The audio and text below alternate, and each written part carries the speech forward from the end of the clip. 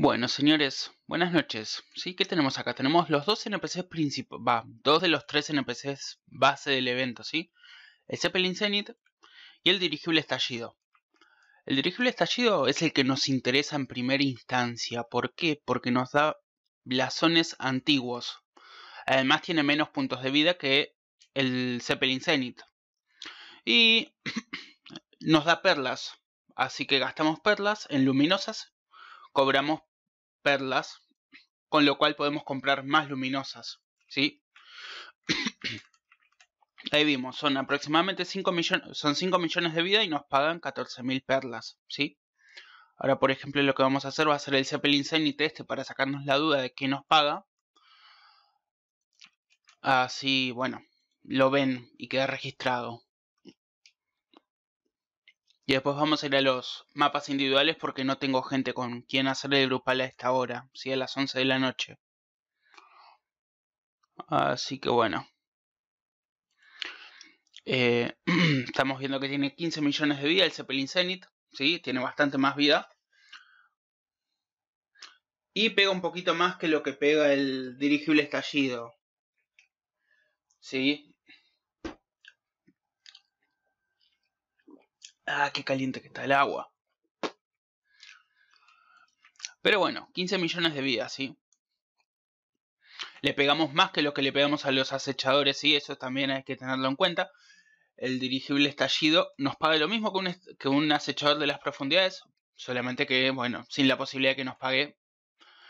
Oh, miren, otro más.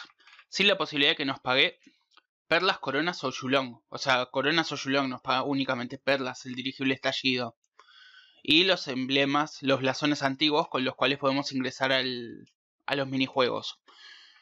Y con esos eh, emblemas antiguos o con esas entradas a los minijuegos vamos a ir consiguiendo blasones mágicos con los cuales vamos a ir obteniendo, miren hay 15.000 perlas, con los cuales vamos a ir obteniendo blasones mágicos para entrar a los mapas grupales, ¿sí? Después, bueno, sugerencia, hagan todos los dirigibles estallidos que vean, sí. Traten. Eh, después no hay mucho más que. No hay mucho más que hacer, ¿no? Apuntamos, disparamos, apuntamos, disparamos. Y procuramos que no nos hunda, claramente. Y ahora cuando terminemos este, vamos a ir al puerto seguro. No se olviden de hacer las misiones, sí, no, importante vamos a llegar, o sea, yo llegué a una misión que me da 20 puntos de reputación, ¿sí? Y ahí me quedé estancado porque no, no conseguí más puntos de reputación, ¿sí? Recordemos que necesitamos tener... Bueno, no recordemos nada porque no sabíamos, pero hace falta tener 40, 40 eh, puntos para seguir con más misiones, ¿sí? Yo hice 20 puntos, no tengo hojas afiladas, entonces me quedé ahí. ¿Quién es la que nos da las misiones o la siguiente misión.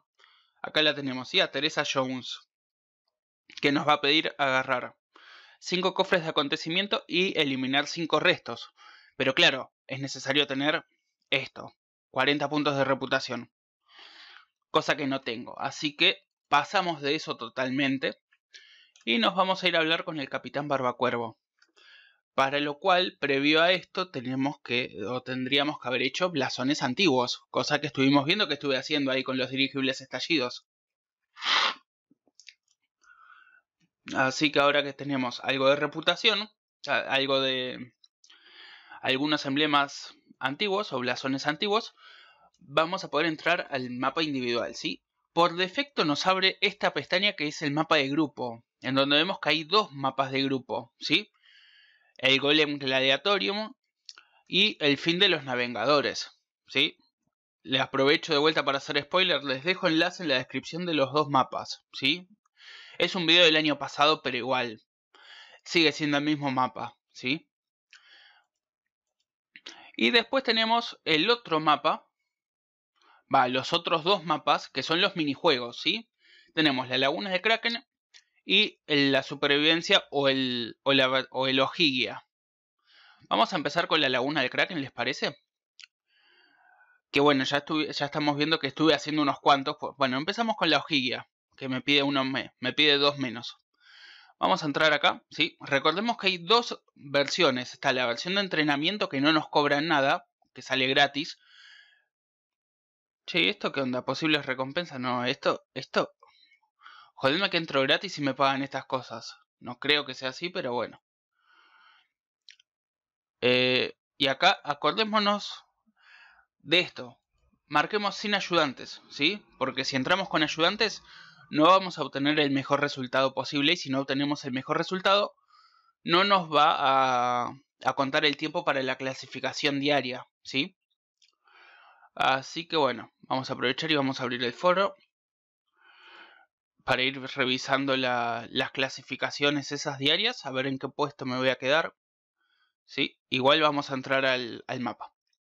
Tocamos pagar y entrar y vemos que tenemos varios resultados, ¿sí? Aunque bueno, vemos que esto está bugueado como para variar. Vemos posibles recompensas por el, botín perfecto o por el resultado perfecto. 11.000 11 a 14.000 perlas, hasta 1.375 coronas, hasta 750 Yulong. Bien. Eh, ¿Qué más? 50 monedas de oro o un diseño, ¿sí? Y acá están las recompensas seguras. Por hacer este mapa bien, creo que lo que mejor que podemos sacar es esto, creo. Pero como está todo bugueado esto, que no aparecen las cosas bien, ¿sí? O sea, vayan a saber cuál sea el mejor resultado posible.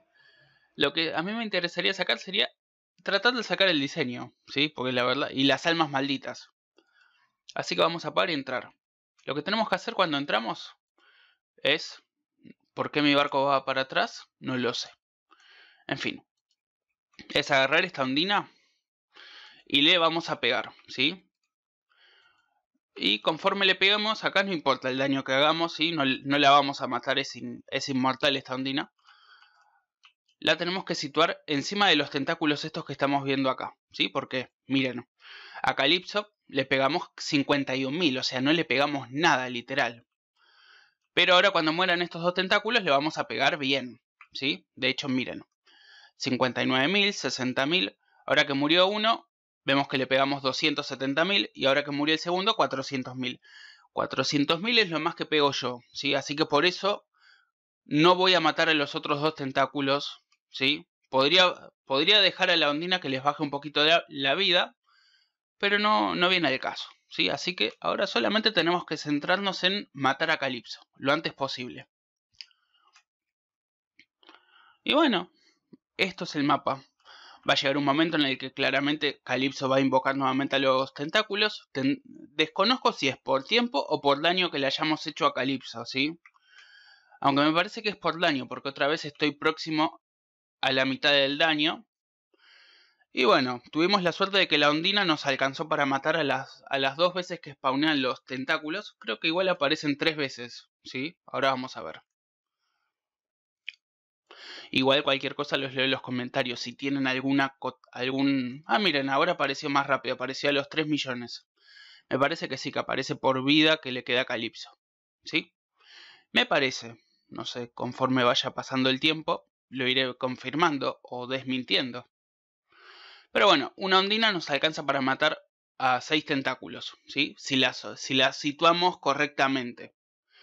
Y ya está, ya ahora no, no sale más. No salen más los tentáculos. Y ahora, literal, no nos quedó más que esto. Y conseguimos oro. 50 monedas de oro, ¿sí? Una mierda, pero bueno, 50 monedas de oro. ¿Qué sé yo?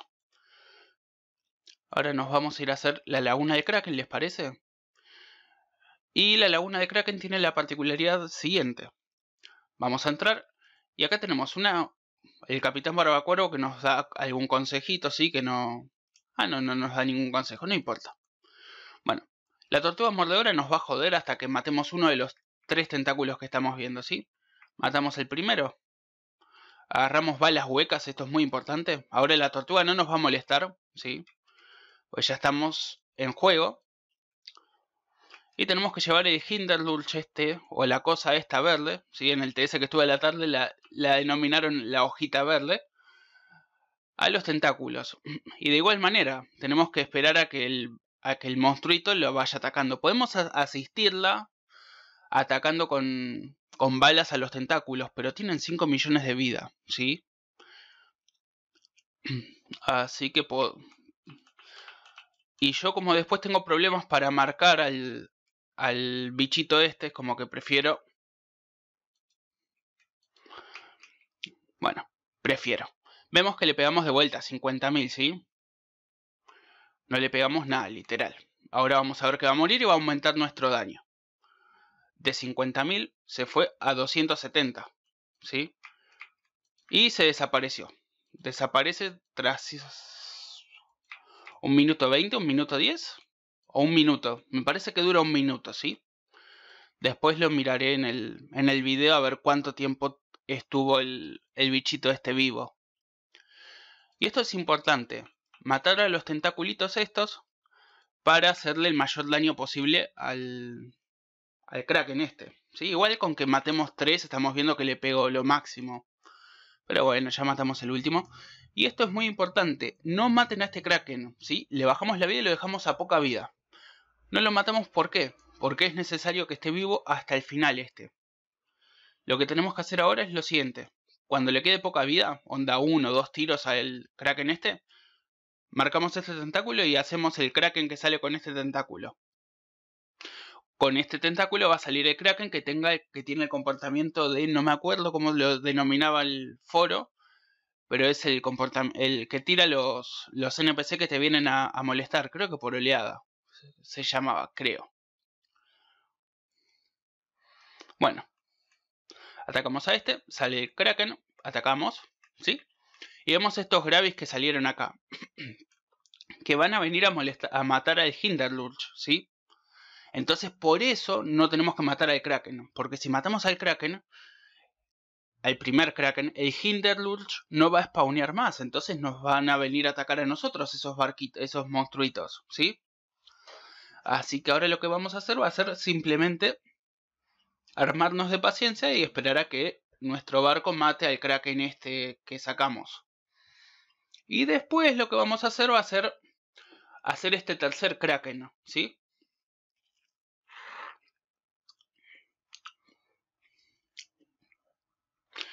Y lo hacemos sin ningún tipo de problema, ¿sí? De hecho estamos viendo que acá vienen los otros gravis, pero ni nos preocupamos nosotros. Uno porque no pegan casi nada y bueno, acá estamos viendo que apareció otro, otro Kraken, ¿sí? Con otro comportamiento. Este tira una especie de, área que nos hace daño, ¿sí? Como las proles de la hidra.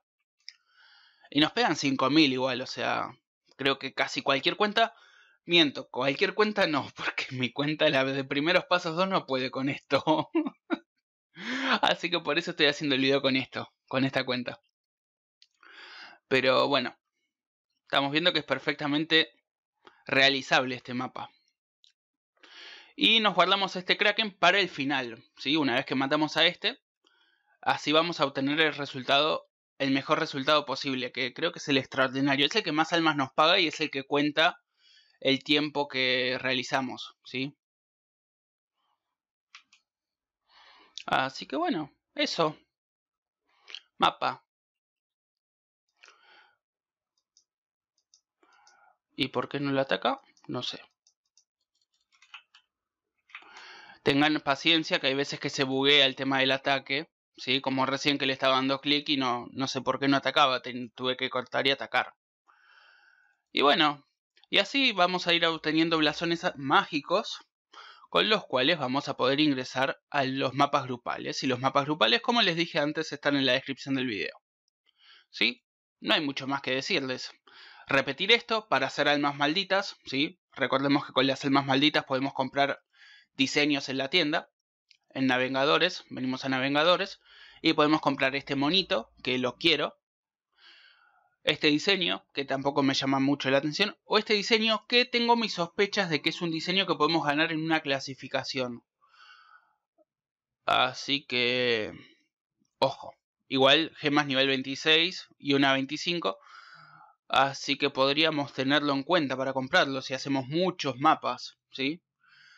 Aunque también tenemos lo siguiente, que me hicieron notar los chicos del TS. Bueno, esto, esto sí lo sabíamos, ¿sí? Que está este paquete que trae 10 cañones de destrozamundos al 5, 10.000 Yulon que me interesa, ¿no? Un diseño y un favor de la reina. Me interesa mucho esas 10.000 Yulon. Y acá podemos comprar, está bien, necesitamos 15.000 almas malditas. Pero son 50 cañones castigadores nivel 5. Que me parece que están buenos, ¿sí? O sea, eso ya lo, lo, tienen que evaluar ustedes mismos, ¿sí?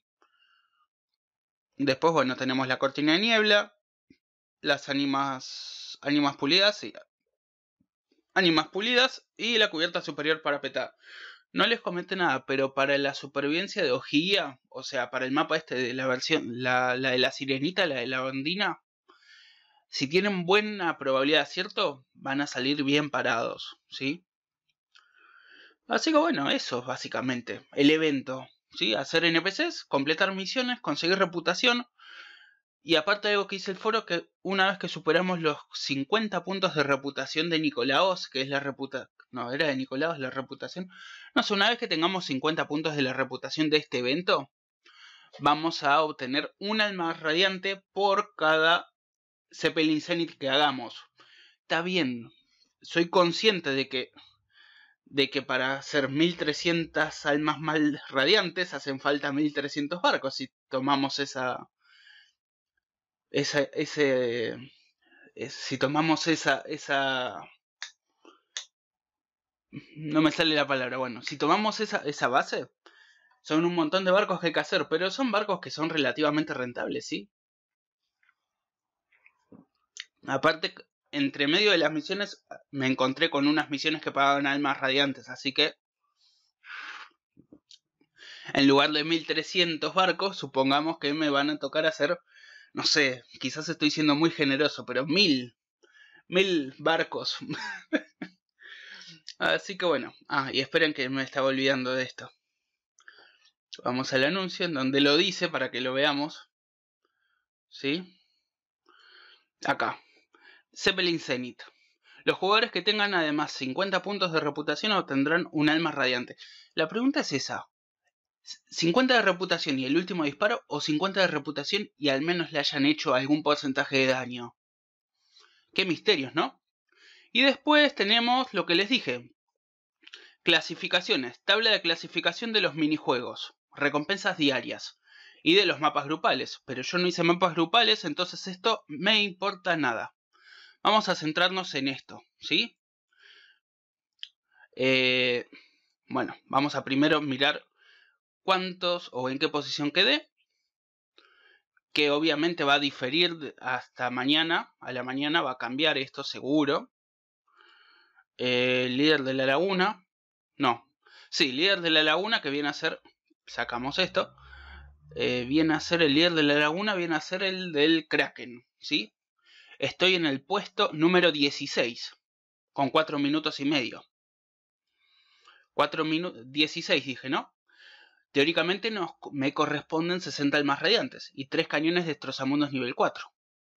Sí, no es mucho, pero no dejan de ser 60 almas radiantes. ¿Sí? Después, tenemos la otra clasificación que no sé cuál es, ¿sí? el líder de la laguna, supervivencia de hojilla, por esto le decía el superviviente, voy en el puesto 19, ¿sí? Y en el puesto 19 me corresponden también 60 almas radiantes. Así que bueno, 60 almas radiantes y 60 almas radiantes, estoy haciendo 120 almas radiantes por día. Con lo cual estoy descontando una parte importante de almas. Porque si tenemos en cuenta que el evento dura 10 días, si mantengo este ritmo durante 10 días, estamos hablando de prácticamente 1100, 1100, 1200 almas radiantes de clasificación, nada más. Además de los cañones y las otras cosas, ¿sí? Y si suponemos, y si supongamos, me pongo con un grupo, ¿sí? Que hoy la verdad que no llegué porque me conecté tarde. Ponele que nos quedamos acá, entre el 31 y el 60, 85 almas radiantes por un grupal y 85 almas radiantes por el otro grupal, me parece que perfectamente estaríamos haciendo unas cuantas almas radiantes, ¿sí? El tema es ese. Para poder hacer mapas grupales es necesario que hagamos mapas individuales, ¿sí? Y lamentablemente no todas las cuentas pueden hacer mapas individuales, ¿sí? Al menos yo con mi tercer cuenta se me complica bastante hacerlo. Así que bueno, cosas. Nos vemos, espero que les sea de utilidad esto.